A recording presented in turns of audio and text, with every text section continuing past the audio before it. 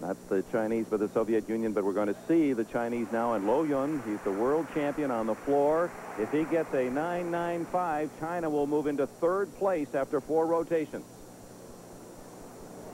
There's a press to a handstand. Very solid.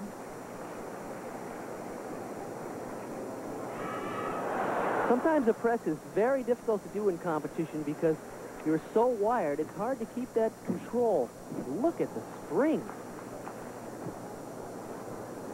He really is a very explosive gymnast. Of course, if you just take a look at his thighs and his calves, you can tell right off the bat that he's very, very powerful. Here's his dismount. It'll be a tuck double back. Wow. Lou Yun does get the 9.95, a couple of 10s from the U.S. and Brazilian judge, and after four rotations, two to go,